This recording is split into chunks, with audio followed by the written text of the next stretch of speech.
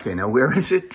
Behind this door. Come out. Come in. Oh, I, I closed the. I see. Close the door to your office here. To your. There's one. Oh, there we go. Okay.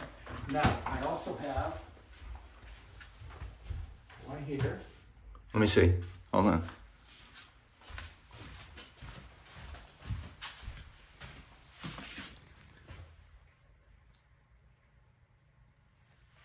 And on the other side. Okay. Okay, hold on.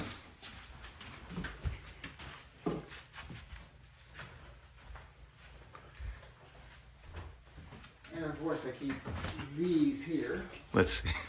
Let's see.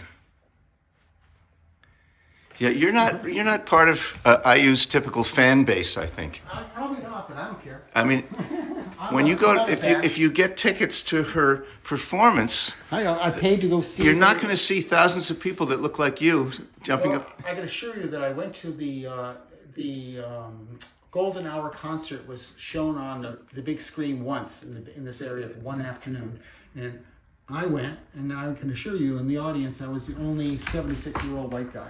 Okay.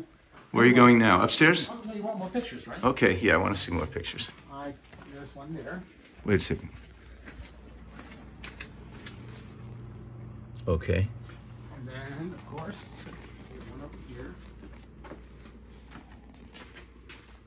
So when you're doing the laundry, you can look at it. That's right.